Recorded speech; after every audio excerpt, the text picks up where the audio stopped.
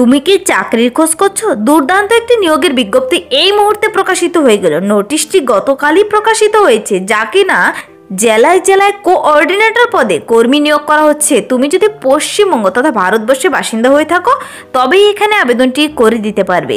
যেখানে প্রতি মাসে স্যালারি দেওয়া হচ্ছে তেইশ হাজার একশো সত্তর টাকা করে শুরুতেই, আর প্রার্থীর বয়স চল্লিশ বছর বয়সের মধ্যে হলেই আবেদনযোগ্য। তো আর দেরি কিসের?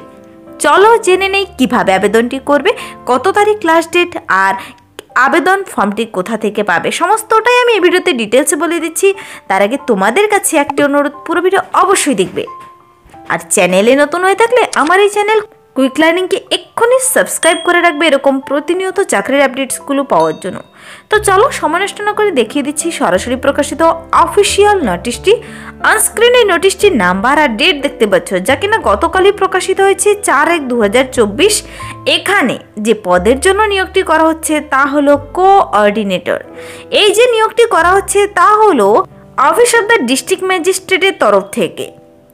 এখানে কোঅর্ডিনেটর অথবা ম্যানেজার বলতে পারো।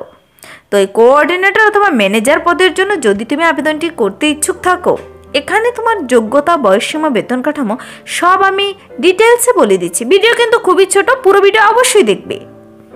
দেখো এখানে এই যে ম্যানেজার কিংবা কোঅর্ডিনেটর পদে নিয়োগটি করা হচ্ছে, এখানে কিন্তু প্রার্থীর বয়স থাকতে হবে তেইশ থেকে চল্লিশ বছর বয়সের মধ্যে হলেই তোমরা এখানে আবেদনটি করে দিতে পারবে।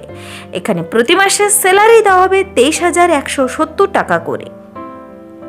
তো এখন তো, মনে প্রশ্ন হচ্ছে তোমরা আবেদনটি কীভাবে করবে? দেখো, এখানে আবেদন করতে হলে প্রার্থীদের কিন্তু অফলাইনে আবেদন করতে হবে। অনলাইনে নয়, অফলাইনে। অফিসিয়াল ওয়েবসাইট থেকে তোমাদের আবেদনপত্রটি প্রথমে ডাউনলোড করে নিতে হবে।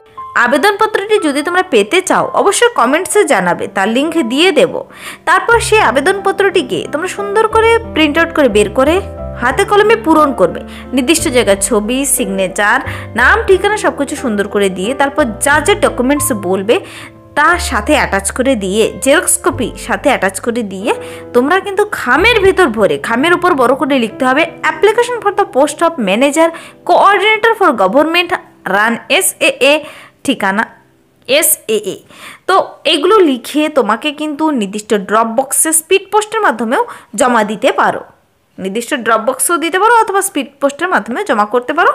আবেদনপত্র জমা করার ঠিকানা আমি বলে দিচ্ছি। তার আগে তোমরা আবেদনপত্রের সঙ্গে যে সমস্ত ডকুমেন্টসগুলোর জেরক্স কপি দিতে হবে তা হলো সমস্ত শিক্ষাগত যোগ্যতার প্রমাণপত্র দিয়ে দেবে তারপর কম্পিউটার সার্টিফিকেট অভিজ্ঞতার প্রমাণপত্র। এই সমস্ত ডকুমেন্টসগুলো দিয়ে তোমাকে কিন্তু নির্দিষ্ট তারিখের মধ্যে পাঠাতে হবে। এখানে তারিখ মনে রাখবে কিন্তু তিরিশ এক দু মানে জানুয়ারি তিরিশ তারিখে লাস্ট ডেট বিকেল সাড়ে পাঁচটার মধ্যে তোমাদের নির্দিষ্ট ঠিকানায় পৌঁছে দিতে হবে। যেহেতু অফলাইনে ছুটির দিনগুলো বাদ দিয়ে কিন্তু তোমরা জমা করার চেষ্টা করবে।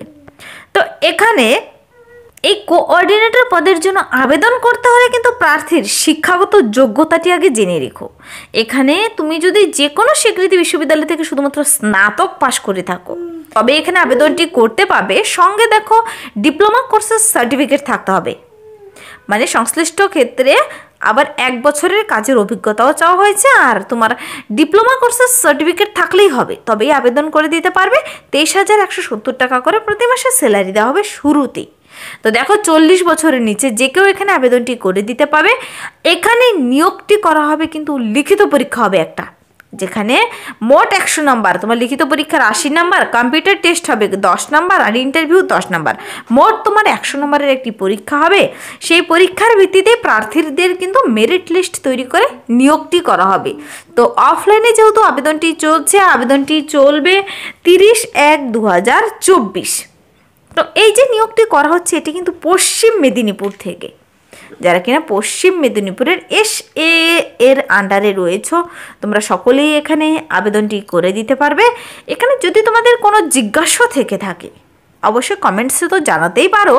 ভিডিও নিচে কমেন্টসে জানাবে। আর দেখো, একটা ইমেল আইডিও দেওয়া রয়েছে DCPS PMD at the rate Gmail dot com এই মেইলে মেল করে সরাসরি অফিসে তোমরা জেনে নিতে পারবে।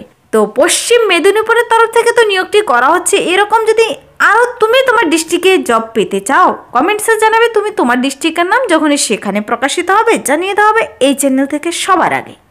তো দেখো, এই চ্যানেল থেকে প্রতিনিয়ত সমস্ত চাকরির আপডেট সবার আগে দিয়ে দেওয়া হয়। চ্যানেলটিকে কিন্তু এক্ষুনি সাবস্ক্রাইব করে রাখবে। তো এই ছিল আজকের একটি ইম্পর্টেন্ট সাবজেক্ট ভালো লাগলে লাইক করে দেবে শেয়ার করে দেবে, আর সাবস্ক্রাইব করতে ভুলবে না। Thank you